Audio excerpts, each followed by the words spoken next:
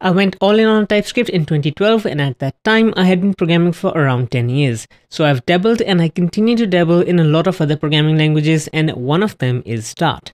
I've written about my issues with Dart before, but it's looking like it's becoming a proper programming language if your definition of proper is JavaScript. Let me explain. Robert runs an excellent YouTube channel and I definitely recommend that you check it out if you want to learn more about Dart. And one of his recent videos is about records, which is a new feature coming in Dart 3 in 2023. I'll let Robert summarize what that is.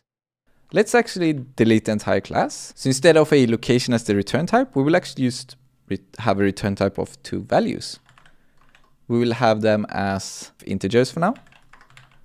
So now we have two integer values as return types we can do something called destructuring. So here we can get the, the values out. So latitude, longitude.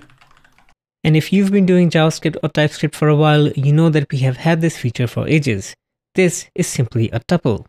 In fact, this is used heavily by front-end frameworks like React for its hooks like a useState.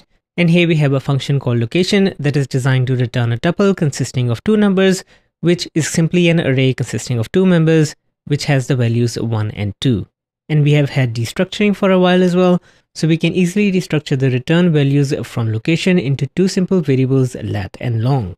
And with TypeScript, we can also name the members of our tuples, so here we are giving the name latitude and longitude to the first and second member of the array that is returned from location better.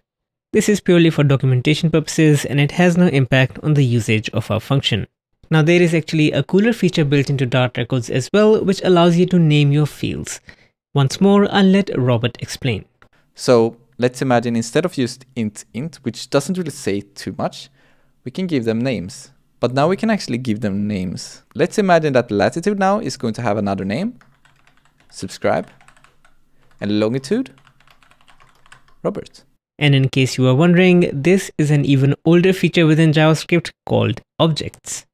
So here we have a simple location function that returns an object consisting of two simple properties, latitude and longitude, both of type number.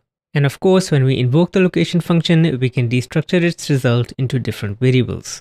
And another feature that we've had for a while is the ability to rename the variables during destructuring, which is also a new feature coming to Dart 3.